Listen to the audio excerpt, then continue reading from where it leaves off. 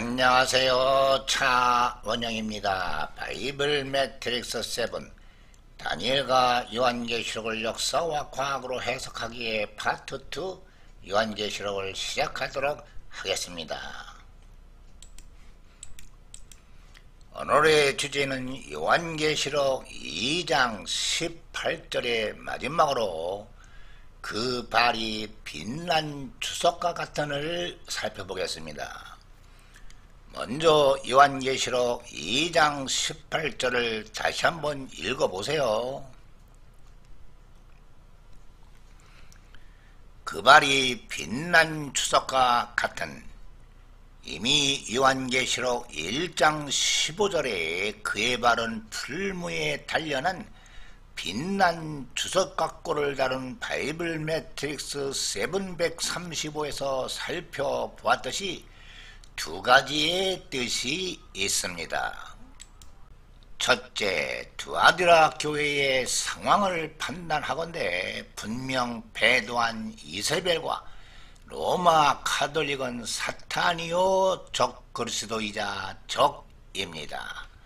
이는 예수님께서 진리의 원수인 적 그리스도를 용광로에 단련한 빛나는 청동발로 밟는다는 것을 의미합니다. 이는 시편 110편 1절을 인용한 누가복음 20장 43절과 사도행전 2장 35절에 내가 네 원수를 네 발의 발등상으로 둘 때까지 내 우편에 앉았으라 하셨더라 하였느니라의 의미와 같은데 이때 발등상이란 적을 멸하고 예수님의 권위에 굴복시켜 예수님의 통제하에 둔다는 의미입니다.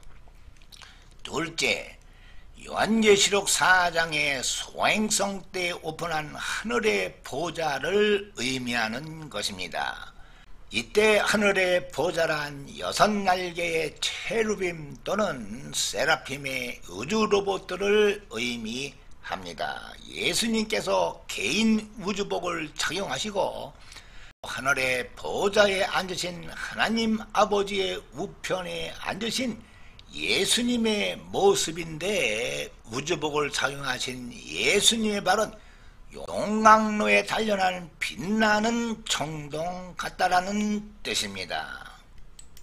다음 주제는 요한계시록 2장 19절입니다.